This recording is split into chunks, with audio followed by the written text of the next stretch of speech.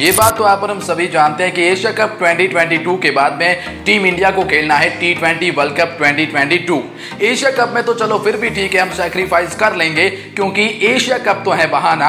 असली मकसद तो ऑस्ट्रेलिया को उसी के सरजमी पर है हराना, और टी ट्वेंटी वर्ल्ड कप में एक बार फिर झंडा लहराना।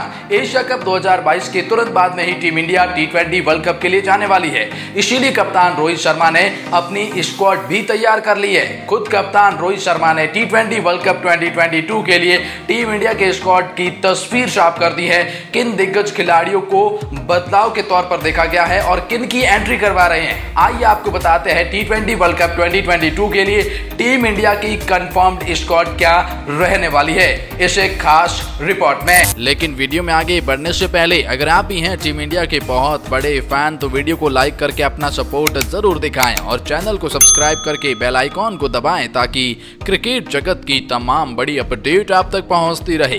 तो जैसा कि हमने कहा कि एशिया कप तो बहाना है, टीम इंडिया का असली मकसद तो टी ट्वेंटी वर्ल्ड कप की ट्रॉफी ऑस्ट्रेलिया की सरजमी से घर पे लाना है। तो अब ऐसे में टीम इंडिया स्क्वाड के अंदर कोई तरह का यहाँ पर रिस्क नहीं लेना चाहेगी। सबसे धुरंधर खिलाड़ियों को मौका मिलने वाला है। आइए आपको बताते हैं टीम इंडिया की स्कॉट क्या रहेंगी। किन पंद्रह खिलाड़ियों के साथ में रोहित शर्मा जाने वाले हैं और एशिया कप से ये कितनी अलग होने वाली है, वो भी आपको इस वीडियो को देखने के बाद पता चल जाएगा।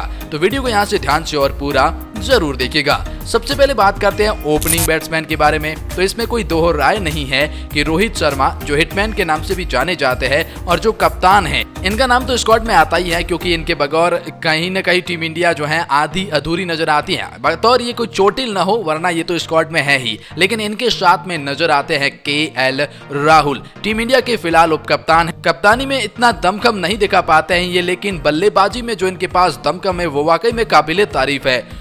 के राहुल बल्ले से क्लासिक बल्लेबाजी करने के लिए जाने जाते हैं। शुरुआत अच्छी करने के साथ साथ पारी को लंबी और बिल्ड करने के लिए जाने जाते हैं।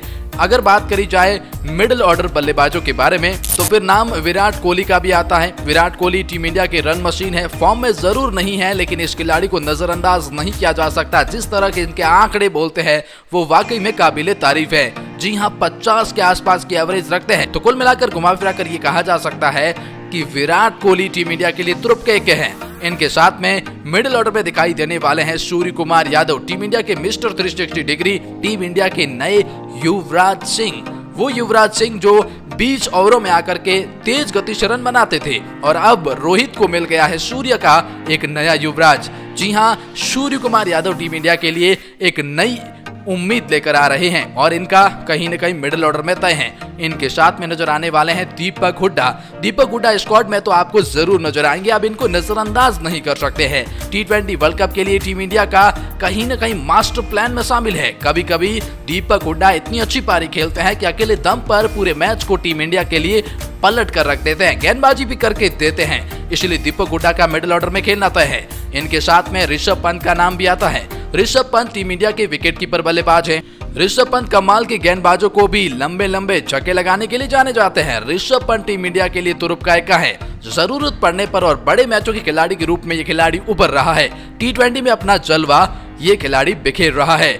ऐसे में कहीं न कहीं ऋषभ पंत की जगह पक्की है। विकेट कीपर के तौर पर दिनेश कार्तिक भी आपको स्क्वाड में तो ज़रूर नज़र आने वाले हैं। दिनेश कार्तिक ने पिछले कुछ समय से टीम इंडिया के लिए इतनी अच्छी पारियाँ खेली है कि अब उन्हें नजरअंदाज नहीं किया जा सकता है। फिनिशिंग की भूमिका दिनेश कार्तिक के ऊपर भी रहने वाली है। स्क्वाड में तो इन्हें ज़रूर शामिल किया जाएगा।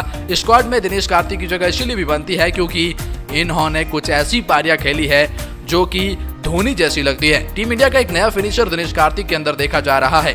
अब यहाँ पर बात करते हैं कुछ ऑलराउंडर्स की। ऑलराउंडर की बात करें और हार्दिक पांड्या का नाम आए ये कोई कह नहीं सकता है। हार्दिक पांड्या वो खिलाड़ी है जो गेंदबाजी बल्लेबाजी के साथ साथ अब तो फील्डिंग में भी तुरुप के, के बनते जा रहे हैं। हार्दिक पांड्या पर टीम इंडिया का काफ़ी हद तक निर्भर और दारमदार रहने वाला है। हार्दिक पांड्या लंबे लंबे छक्के लगाने के लिए जाने जाते हैं। मुश्किल वक्त में टीम इंडिया के लिए एक हीरो बनकर सामने आ रहे हैं हार्दिक पांड्या। तो हार्दिक पांड्या के साथ रविंद्र जडेजा स्क्वाड में आपको ज़रूर दिखाई देने वाले हैं। रविंद्र जडेजा और अक्षर पटेल, इन दोनों में से कंफ्यूजन है स्क्वाड में किसे शामिल किया जाए।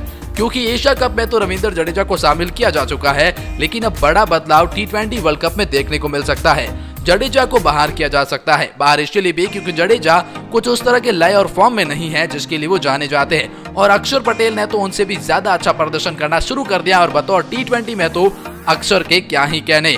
इसलिए अक्षर पटेल टीम इंडिया की अब पहली बसंत बन सकते हैं खास तौर पर टी फॉर्मेट में। देखने वाली बात है जडेजा या अक्षर कौन नज़र आएगा? लेकिन अब बात करते हैं स्पिन गेंदबाजी डिपार्टमेंट में तो युजवेंद्र चहल का नाम है टीम इंडिया के विकेट टीकर कहीं न कहीं बहुत अच्छी गेंदबाजी करते हैं इनके साथ में। नाम रवि बिश्नोई का भी आता है। ये दो स्पिन गेंदबाज तो आपको दिखाई देने वाले हैं टी ट्वेंटी वर्ल्ड कप के स्क्वाड के अंदर। रवि बिश्नोई जो एक नया भारत का टैलेंट उभरता हुआ खिलाड़ी है यूजी चहल की तरह ही गेंदबाजी करते हैं। तो ये दो खिलाड़ी आपको टी वर्ल्ड कप में नज़र आएँगे। लेकिन अब बात करते हैं तेज गेंदबाजी के अंदर। चार तेज गेंदबाजों के बारे में बताने जा रहे हैं, जिसके बाद टीम इंडिया की पंद्रह सदस्यीय स्क्वाड कंप्लीट हो जाएँगी। चार में आपका सबसे पहला नाम तो जसप्रीत बुमराह का आता है। जसप्रीत बुमराह के संकेत ये आ रहे हैं कि वो फिट हो जाएँगे। फिट होने के बाद इनकी जगह पक्की है। इनके साथ में भुवनेश्वर कुमार का नाम पक्का है। भुवनेश्वर कुमार वो खिलाड़ी जो नई गेंद से विकेट लेने के लिए जाने जाते हैं। भुवनेश्वर कुमार के साथ में अर्शदीप सिंह का नाम भी शामिल है। अर्शदीप सिंह डेथ ओवर के कमाल के गेंदबाज हैं और भारत में जसप्रीत बुमराह का सपोर्ट देंगे। लेकिन एक और तेज गेंदबाज की बात आती है तो फास्ट गेंदबाजों की लिस्ट में दीपक चार भी अब काफ़ी आगे आ चुके हैं, क्योंकि दीपक चार ने जिस तरह का प्रदर्शन वापसी की बात किया है, वो देखने लायक है। देखना होगा उमरान मलिक या फिर दीपक चार, इन दोनों में से किसे मौका मिल जाता है, क्योंकि उमरान मलिक तेज गेंदबाज है और ऑस्ट्रेलिया में तेज गेंदबाजों को मदद मिलेगी। वैसे तो दीपक भी तेज गेंदबाज है, लेकिन उमरान की गति आप सभी जानते हैं। तो कुछ इस तरह से स्क्वाड रहने वाली टीम इंडिया की इस बारे में आपकी क्या राय? कमेंट सेक्शन में बताएँ।